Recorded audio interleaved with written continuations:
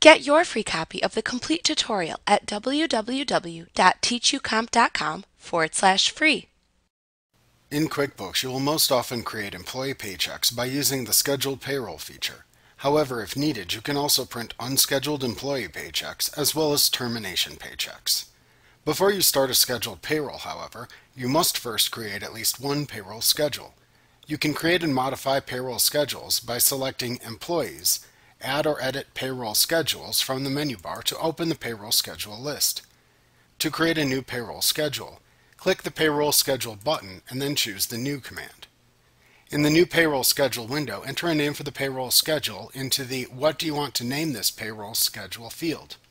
Use the Next Fields dropdown to select the frequency with which this payroll will recur. After that, use the What is the pay period end date calendar selector to select the final date in the pay period. If you choose to create a semi-monthly or monthly payroll, you may also need to answer a few more date-related questions in this screen.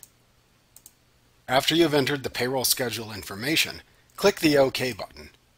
Then follow the on-screen prompts to assign employees with the same payroll frequency to the selected payroll schedule.